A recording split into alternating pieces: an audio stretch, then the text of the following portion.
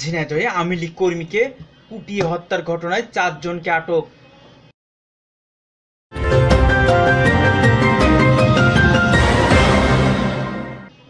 ঝিনাইদহের শোলকুপায় সামাজিক আধিপত্য বিস্তারকে কেন্দ্র করে এক আওয়ামী লীগ কর্মীকে কুপিয়ে হত্যা করেছে প্রতিপক্ষের সন্ত্রাসীরা।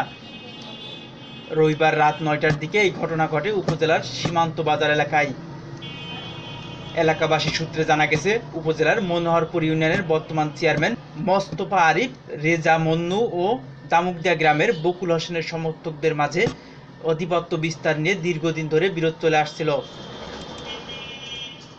শনিবার বিকেলে উভয় পক্ষের সমর্থকদের মধ্যে সংঘর্ষের ঘটনা ঘটে। এতে তিনজন আহত হয়। এই নিয়ে রবিবার সন্ধ্যায় শোলকুপা থানায় একটি সালিশ বৈঠক হওয়ার কথা ছিল।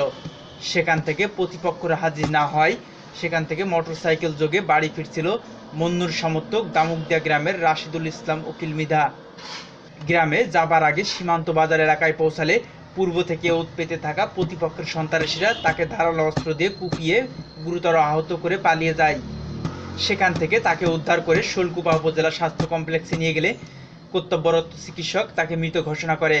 নিহত ব্যক্তি একই গ্রামের মৃত আবুল হোসেন মৃধার ছেলে। নিহত উকিল মিধার ভাই ইমদাদুল হোসেন জানান আমার ভাইকে প্রতিপক্ষ একই গ্রামের বকুল হোসেন নিজে তার সমর্থকদের দিয়ে কুপিয়ে হত্যা করে। এই ব্যাপারে শোলকুপা থানার অফিসার ইনচার্জ জাহাঙ্গীর আলম জানান এখনও থানায় মামলা দায়ের হয়নি, তবে চারজনকে ঘটনার সাথে জড়িত সন্দেহে আটক করা হয়েছে এবং এলাকায় অতিরিক্ত পুলিশ মোতায়েন করা হয়েছে।